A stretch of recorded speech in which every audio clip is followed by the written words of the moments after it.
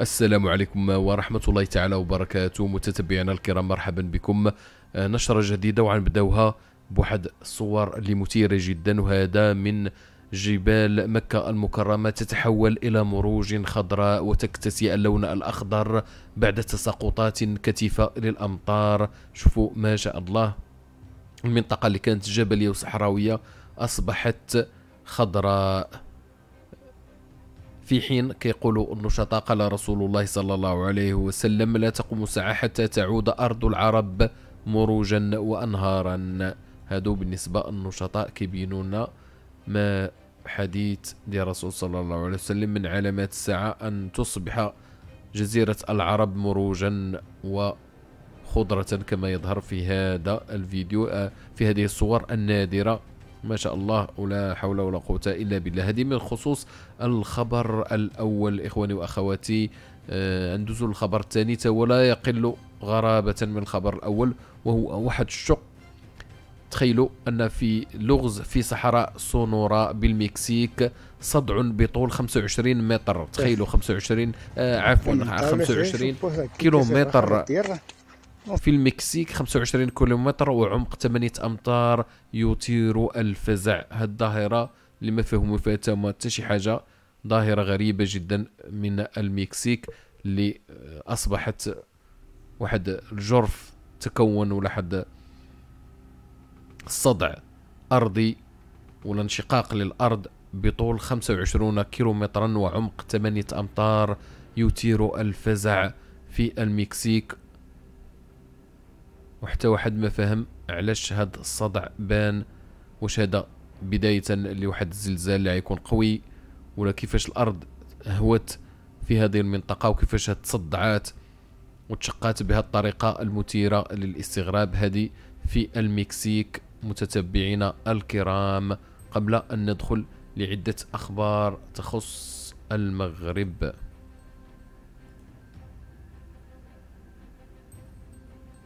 هادشي غريب ومثير في نفس الوقت.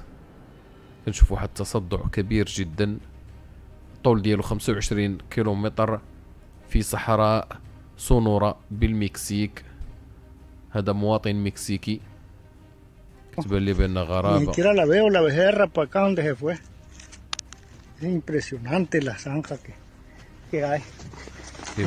مثير جدا. tiene como 3 4 metros de يقول أربعة أمتار Mira, a la torre. Es una cosa verdaderamente. Aquí vemos esta grieta en el ejido Coronel J. Cruz Garber. المهم كيوقعوا أشياء غريبة هاد السنوات الأخيرة حتى آه كنشوفوا أن قوات الزلازل قوات الكوارث الطبيعية في عدة مناطق فنسأل الله السلامة هذا بخصوص هذا الخبر خبر مثير آخر وهو هذوك الناس اللي كيدعوا إلى الهجرة السرية هادشي ما فيش اللعب والعمليات راه جارية على قدم وساق من أجل القبض ولا توقيف هاد الناس المتورطين في هذه القضية وخصوصا أغلبهم كتلقاهم شباب اللي قرروا أنهم داروا واحد التاريخ ديال الخامس عشر من شتنبر من أجل هجرة جماعية إلى سبت المحتلة مع كامل الأسف حيث أسفرت العمليات الأمنية التي باشرتها مصالح الشرطة بكل من مدينتي طنجة وتطوان لمكافحة المحتويات الرقمية التي تحرض على تنظيم الهجرة غير المشروعة خلال الفترة الممتدة ما بين التاسع والحادي عشر من شتنبر الجاري عن توقيف ستين شخصا من بينهم. قاصرين وذلك للاشتباه في تورطهم في فبركة ونشر أخبار زائفة على شبكات التواصل الاجتماعي تحرض على تنظيم عملية للهجرة الجماعية غير المشروعة. وكانت مصالح اليقظة المعلوماتية للأمن الوطني قد رصدت محتويات رقمية منشورة على مواقع التواصل الاجتماعي تحرض بشكل مباشر على اقتحام السياج الأمني الواقع بين مدينة ألفنيدق ومدينة سبتة يوم الخامس عشر من شهر تسعة وهذا الشهر الحالي شهر شتنبر 2024 كما تحرض مستعملي مواقع وتطبيقات التواصل الاجتماعي على الهجرة غير المشروعة بشكل جماعي. وقد مكنت الأبحاث التقنية والتحريات الميدانية المنجزة من تحديد هوية 13 شخصا متورطين في نشر وتقاسم هذه المحتويات الرقمية وذلك بناء على معطيات دقيقة وفرتها مصالح المديرية العامة لمراقبة التراب الوطني ديستي قبل أن يتم توقيفهم من طرف الشرطة القضائية بمدينة تطوان خلال عملية أمنية جرى تنفيذها بمدن الدار البيضاء وتطوان والعرائش ووزان والرباط وميسور ووجدة وفاس والمحمدية وويسلان.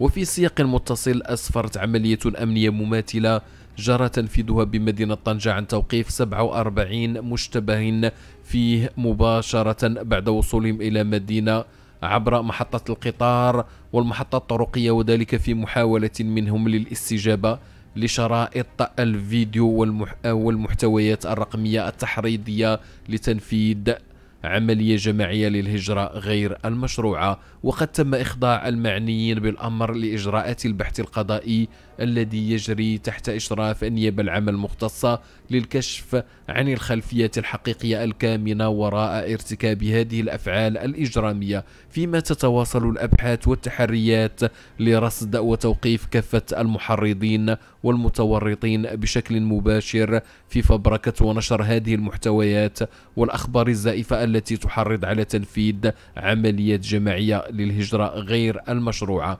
المهم بخصوص هذا الخبر دائما الله يخليكم حضيو الشباب وليداتكم حضيهم مزيان حضيهم ليكونوا كينشروا أشياء اللي خطيرة جدا ولا كينشروا فيديوهات على اللي كتحرض على آه الهجرة. هذا الشيء راه معي ما كيتفكوش معاه الأمن. ودابا راه شدوا 60 واحد وأيضا شدوا 47 واحد اللي تغروا وصحبوا راسهم أنهم غاديين آه، كاين شي رحله ولا كاينة واحد الهجره جماعيه من الفنيدق إلى سبته وشدوا في المحطات الطرقيه وأيضا القطارات ومحطه القطار شدوا 47 واحد مشتبه فيهم. دائما حضروا وليداتكم وما تخليهمش ينشروا هاد الشيء لأنه كيدخل آه، في تهم خطيرة تقدر تعلق حتى بالتجار بالبشر. فالمرجو منكم المرجو منكم الانتباه والحذر. وديما راقبوا وليداتكم. هذه من جهة آه، خبر اللي بطبيعة الحال وهو تفاصيل ومستجدات. قضية الطالب أنور تأجلت الجلسة في قضية طالب طالب أنور وشكوك مستمرة حول الجاني الحقيقي. بطبيعة الحال كنتمنى أن تخيلوا آه هذه الجريمة وقعت 2022 ولحد الآن بقى واحد المماطلة وكاين واحد التطوال غريب ديال هذه القضية اللي ما عرفناش علاش وتفاصيل متناقضة وبزاف الأشياء آه، من ناحيتهم الأم ديال الطالب أنوار كتأكد بأن هذيك الشابة ماشي هي بوحدها اللي قدرات تقتل هاد الشاب أنوار بل كانوا معها آه، شركاء ولا بغات تغطي على شي وحدين. بطبيعة الحال هذه الأم ديالو كتهم بأن كاين عدة نقط غامضة فين مشاو les mots de passe كيف علاش محاوليه les comptes ديالو دخلوا ليهم ومحاوليه آه، محاولين المعلومات ديالو الشخصية من les ordinateurs من ال ordinateur من التليفون إلى آخره علاش دخلوا لي ال compte ديالو ديال اليوتيوب وديال الإنستغرام؟ كاين واحد الغموض كبير كيلف في هذه القضية وبطبيعة الحال باغيين يخرجوا يخرجوا منها لأن هذيك الشابة كانت بقى عندها 17 عام. اذا باغين شي وحدين آه، يحيدوا عليهم المسؤولية ديال هذه القضية حيث تم تأجيل جلسة قضية الطالب أنور بطنجة وشكوك مستمرة حول الجاني الحقيقي. فقد قررت محكمة طنجة من جديد اليوم الأربعاء تأجيل جلسة المحاكمة لقضية الطالب أنور الذي كان قد تعرض لجريمة قتل في أواخر 2022 وذلك إلى غاية الأول من شهر أكتوبر. وأصدرت المحكمة قرار التأجيل من جديد بسبب غياب دفاع المتهمة الرئيسية في القضية وغياب بعض المصرحين. وبالمقابل فإن أسرة الضحية لا زالت تردد الشكوك التي تحوم حول الجاني الحقيقي الذي ارتكب الجريمة إذ تعتبر الفتاة آه، القاصرة المتهمة في القضية مجرد كبش فداء وتجدر الإشارة إلى أن هذه القضية كانت قد هزت الرأي العام المحلي والوطني بعدما تم العثور على الطالب أنور الذي كان نشيطا على مواقع التواصل الاجتماعي مقتولا داخل شقة كان يكتريها بطنجة حيث كان يدرس بالمدينة قادما من العرائش كنتمنى؟ أن الحقيقة تبان ديال هذا الطالب وخصوصا أن كيلف واحد الغموض كبير على الحيثيات ديال هذه. من جهة من جهة أنها كنشوف أن المحاكمة تعطلات بزاف أكثر من القياس. دابا حنايا في 2024 والقضية وقعات في الجريمة وقعات في 2022 فما يمكنش هاد التطوال. وأيضا اختفاء بعض الأخ ديال هاد السيده مختفي. إلى آخره كاين غموض كثير ويلف القضية. الأم ديالها راه كتمسك بأنه ماشي هي هاد الشابة ولا كانت فقط معاونة ولكن كاينين أخرين أطراف أخرى في الجريمة اللي كيبغيو يتستروا عليهم. شكرا على حسن الإصغاء والمتابعة. إلى اللقاء في فيديوهات قادمة إن شاء الله.